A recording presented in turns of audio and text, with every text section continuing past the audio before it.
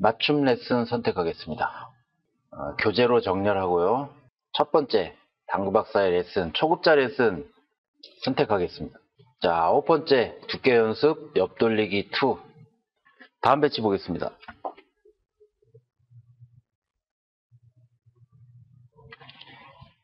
조금 전에 배치가 이러한 배치였습니다. 빨간 공에 대해서 내 공이 반 칸 정도 아래로 내려와 있는 상태였는데 이번 배치는 빨간 공과 내공의 기울기가 더 기울어져 있습니다. 내공이 빨간 공보다 1.5칸 정도 내려와 있습니다. 이렇게 내공이 일목적구보다 아래로 많이 내려와 있을 경우에는 밀리는 현상 때문에 어, 내가 예상한 것과는 조금 다르게 공이 진행을 합니다. 먼저 무회전으로 한번 쳐보겠습니다. 무회전으로 쳤을 때 3쿠션째 여기로 들어오게 되어 있는데요. 한번 쳐보겠습니다.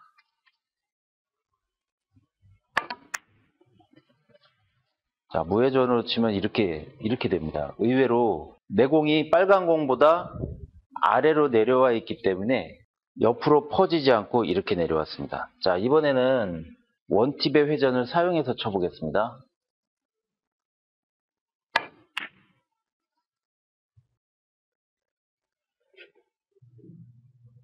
자, 이번엔 투팁의 회전을 사용해서 쳐보겠습니다.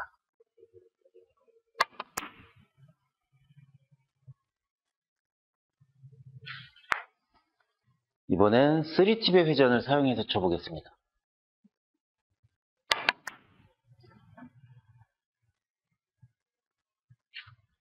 여기에 내용이 써 있는데 내공이 빨간 공보다 아래로 많이 내려와 있을 때는 당점과 속도에 영향을 많이 받아요 라고 써 있습니다. 아, 이게 무슨 얘기냐면 부드럽게 쳤을 때 아, 느린 속도로 쳤을 때와 빠른 속도로 쳤을 때 분리각과 내 공의 진행이 좀 달라지고요. 그리고 당점을 내려서 쳤을 때 하단 당점으로 출발해서 치면 또 분리각이 달라집니다. 그러면서 이 그림에 있는 것과는 다르게 공이 진행을 할 텐데 제가 투팁의 회전을 가지고 약간 빠른 속도로 쳐보겠습니다. 그랬을 때 어, 부드럽게 쳤을 때는 이 자리로 오지만 빠른 속도로 쳤을 때는 어떻게 되느냐 2시 방향 투팁 약간 빠른 속도로 쳐보겠습니다.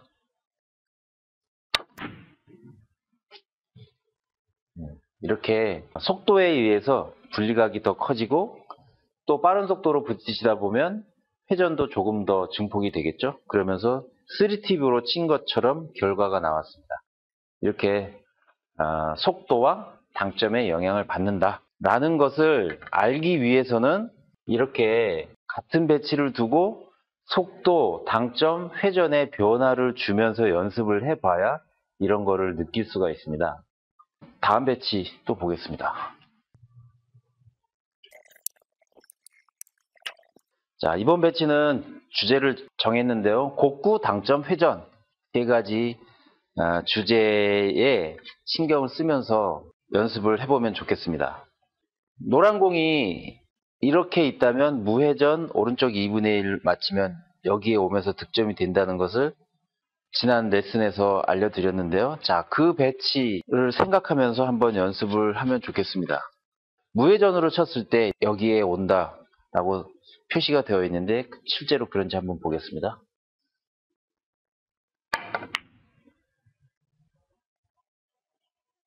이렇게 무회전 자리에 왔죠? 자, 원팁의 회전을 주고 쳐보겠습니다.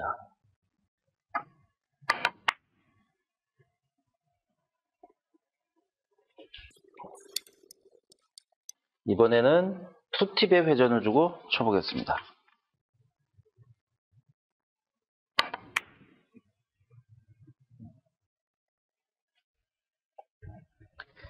이번에는 3팁의 회전을 주고 쳐보겠습니다.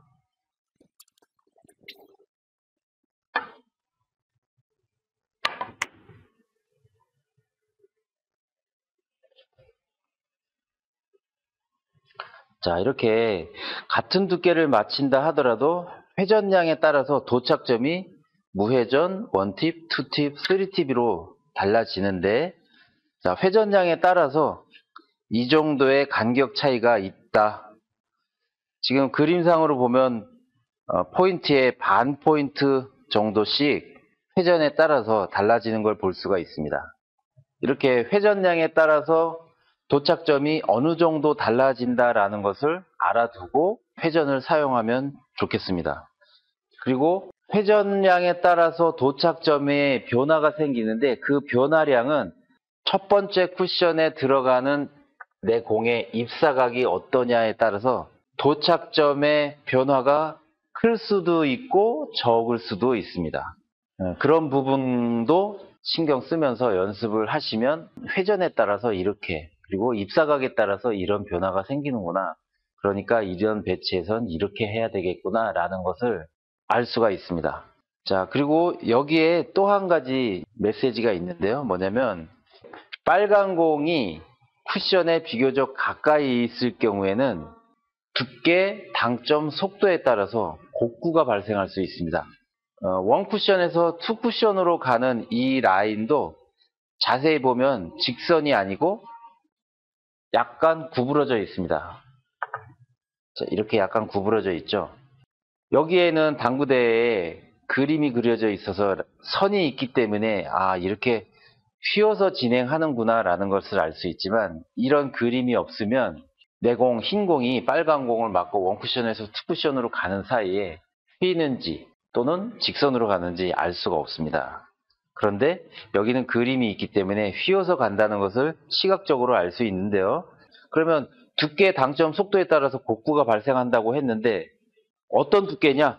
2분의 1도 두께로 따지면 조금 두꺼운 두께에 속합니다.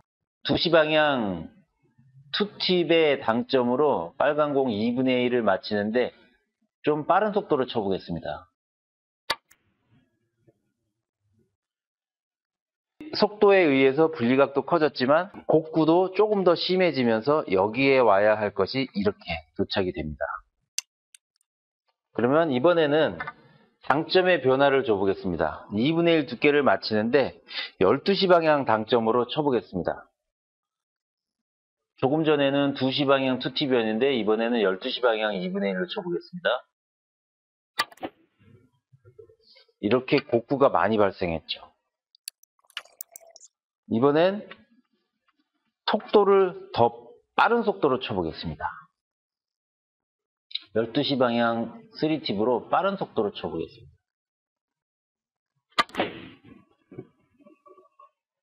분명히 내공의 변화가 일어나죠. 물론 빨간 공이 쿠션에서 떨어져 있을 때도 곡구는 생길 수 있습니다. 하지만 특히 주의해야 할 경우가 뭐냐면 이렇게 쿠션에 가까이 있는 공을 두꺼운 두께, 높은 당점, 빠른 속도로 치면 곡구가 심하게 일어납니다. 아, 그런 것에 주의하면서 옆돌리기 연습을 하면 좋겠습니다. 마지막 배치 보겠습니다. 마지막 배치는 순각입니다. 순각. 내 공이 빨간 공에 대해서 수직도 아니고 내려와 있지도 않고 이렇게 서 있습니다.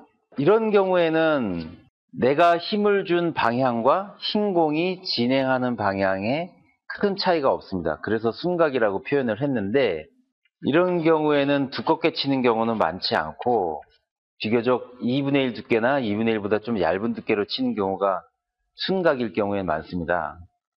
여기에 첫 번째 쿠션에 입사하는 각도가 40도 정도일 때 이런 식으로 입사각, 입사각이 40도 정도일 때 큐볼의 회전량에 따른 3쿠션 도착점의 간격 차이가 가장 작은 편이다. 무회전일 때 여기라면 원팁일 때 여기, 투팁 여기, 쓰리팁 여기 요 간격의 차이가 회전에 따른 변화의 차이가 가장 작은 편이다. 아, 이것도 알아두면 좋을 것 같습니다. 조금 전에는 이렇게 무회전, one tip, two tip, three tip 간격 차이가 간격이 많이 벌어져 있었는데 첫 번째 쿠션에 들어가는 입사각이 달라지면서 무회전일 때나 3 tip일 때나 간격 차이가 작아졌죠. 이것으로 알 수 있는 게 무엇이냐면 배치에 따라서는 거의 맞아 있는 배치, 확률 높은 배치라는 게 있을 수 있다는 거죠. 이 상황에서 2팁이면 득점이 되겠지만 1팁을 사용했다고 해서 득점이 안 되진 않, 않을 것 같습니다. 뭐 그만큼 배치에 따라서는 확률 높은 배치가 있다라는 걸 말씀드리고 싶습니다. 자, 한번 무회전으로 쳐보겠습니다. 무회전 두께 2분의 1 쳐보겠습니다.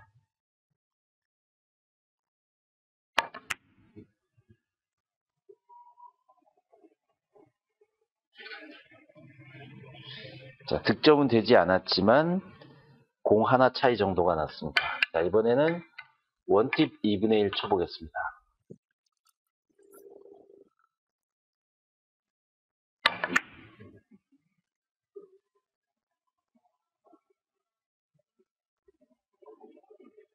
아슬아슬하게 빗나갔는데 속도가 조금 빨랐다면 득점이 됐을 것 같습니다.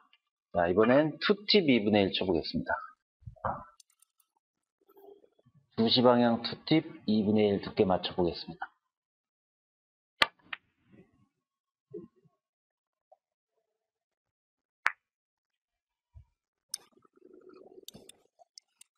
이번엔 마지막으로 3팁 2분의 1 맞춰보겠습니다. 3시 방향 3팁으로 두께 2분의 1 맞춰보겠습니다.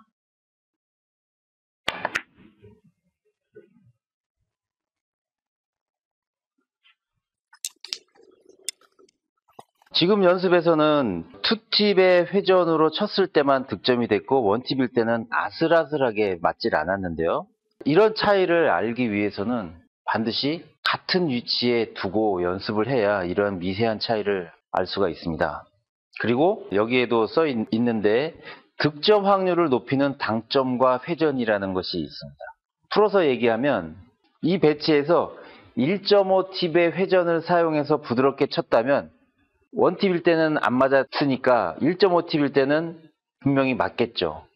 그리고 2팁일 때는 어쩌면 약간의 실수에 의해서 아슬아슬하게 길게 실패할 수 있지만 1.5 팁을 사용한다면 이 방향으로 아슬아슬하게 얇게라도 맞겠죠. 그래서 배치에 따라서 배치를 정확하게 분석하고 당점과 회전을 선택한다면 득점 확률을 높일 수 있다라고 말할 수가 있겠습니다.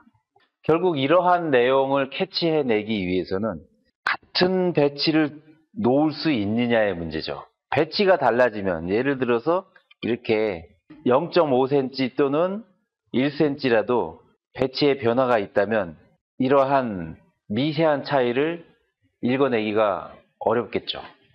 초급자 여러분들도 연습을 할 때는 반드시 같은 곳에 공을 두고 연습을 해야 정확한 연습이 되고 정확한 지식이 될 수 있습니다. 당구박사처럼 이렇게 당구대에 그림이 표시되어 있지는 않을 것이기 때문에 완벽한 같은 배치를 두기는 어렵겠지만 그래도 스마트폰을 보고서라도 최대한 같은 배치를 두고 연습을 해야 연습의 효율이 높아집니다. 자, 오늘 이렇게 옆돌리기 다섯 개의 배치, 엇각일 때, 순각일 때, 그리고 쿠션에 공이 붙어 있을 때, 그리고 앞돌리기인 상황일 때, 다섯 개의 배치를 가지고 회전을 이용해서 절반 두께를 맞히는 부드럽게 쳐서 2분의 1 두께로 맞췄을 때 내공이 이렇게 진행한다고 하면 2분의 1보다 두껍게 맞았다 하더라도 2분의 1과 크게 다르지 않게 진행합니다. 그래서 2분의 1 두께가 중요한 겁니다. 그렇기 때문에 먼저 2분의 1 두께를 맞히는 연습을 해야 되고 2분의 1 두께를 맞췄을 때 내공이 어떻게 진행하느냐를 먼저 알아야 되고 거기에 익숙해져야 원팁일 때 어떻게 가겠구나, 3팁일 때 어떻게 가겠구나를 판단할 수가 있습니다. 그래서 두께의 기준은 2분의 1 두께로 설정해 놓는 게 중요하다. 그렇기 때문에 2분의 1 두께 맞히는 연습을 먼저 소개했습니다. 자, 이렇게 해서 초급자 레슨 9회까지 진행이 되어, 되었는데요. 이 정도만 잘 연습을 해놔도 18점, 20점 가는데 큰 무리가 없을 거라고 저는 생각을 합니다. 초급자 여러분들은 빠른 실력 향상, 튼튼한 기본기를 만들기 위해서 이렇게 당구 박사가 제시한 방법, 스마트폰 당구 교재 구입하셔서 사용해 주셨으면 좋겠고요. 유료 버전에는 프로 선수들의 다양한 샷들도 소개 하고 있습니다. 예를 들면 프로샷 부분 보면요. PBA 챔피언 포인트, LPBA 챔피언 포인트, PBA 챔피언 포인트, LPBA 챔피언 포인트, 그리고 high run, 브롬달 선수의 26점 high run, 롤란드 포톰 선수의 28점 high run, 쿠드롱 선수의 28점 high run, 강동궁 선수의 perfect cue 등 그런 배치들도 소개를 하고 있습니다. 초보자들이 실력 향상하기 위한 가장 빠른 방법은 먼저 잘 치는 사람들 따라하는 것이죠. 어, 그런 부분에서 세계적인 선수들이 친 배치를 따라 해 보는 것만으로도 좋은 습관, 정확한 실력 향상을 위해서 도움이 될 것입니다. 자, 그럼 다음에 또 더 좋은 내용으로 돌아오겠습니다.